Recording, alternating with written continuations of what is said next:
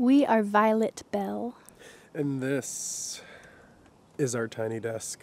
and this song is called Swimming Towards Sharks.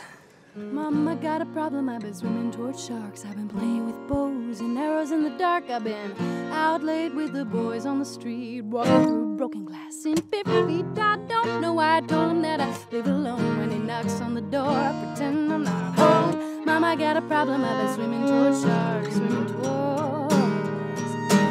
some wicked women.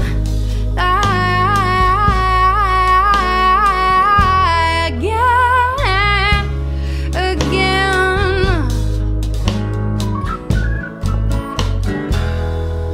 I try to let the truth